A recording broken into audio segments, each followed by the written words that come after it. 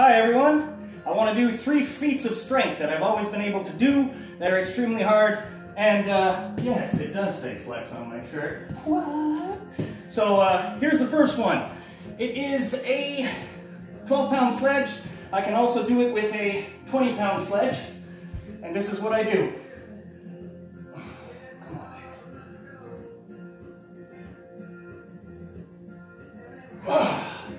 Right to my nose, one shot. Here is 50 pound weights. As you can see, 50 pound. First of all, curling is no problem.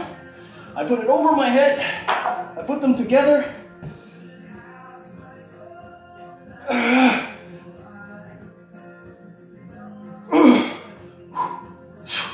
And finally, the triple clap push-up.